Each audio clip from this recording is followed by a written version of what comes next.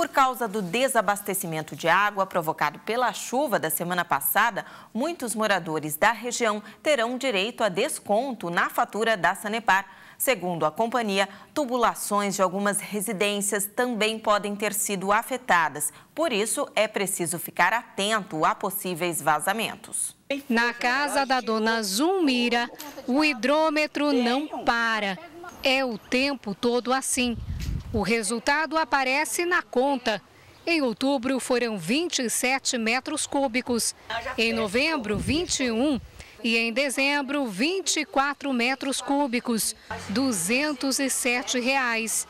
Mesmo quando não tinha água, ela diz que o relógio não parou. Meu menino tirou o cano, daqui, vai para a água para a caixa e deixou só um tampão no relógio. O tampão está ali e o relógio estava funcionando do mesmo jeito não parava de funcionar. Um funcionário da Sanepar chegou a fazer uma aferição do hidrômetro e não encontrou problemas.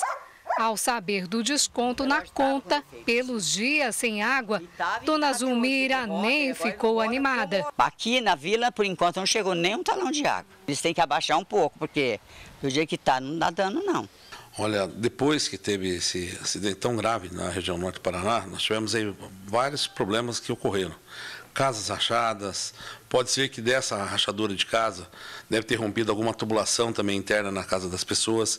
Então, aquele que sentir que o relógio não para de, de, de rodar, né, que é o, é o, nosso medidor, o hidrômetro, se ele está girando e ninguém está consumindo água, é bom chamar o encanador, avisar a Sanepar. Doze cidades na nossa região e mais duas, Maringá e Nova Esperança, enfrentaram ou ainda enfrentam problemas com o abastecimento. Os moradores que ficaram sem água é que terão terão direito ao desconto, mas não precisa ligar e nem vir até a Sanepar. Esse desconto vai ser automático.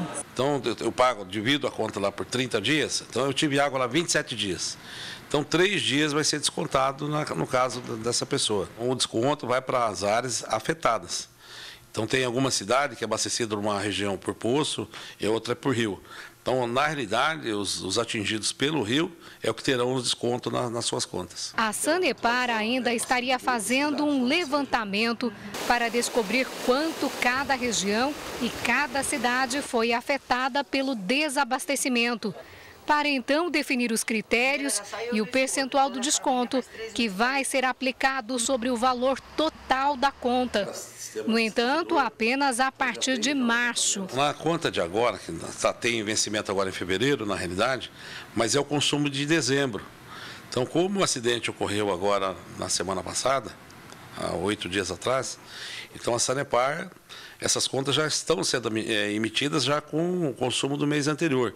Então, esse consumo que agora que se agravou nessa semana, será com vencimento em março. Então, nas contas que vão vencer em março, terão desconto.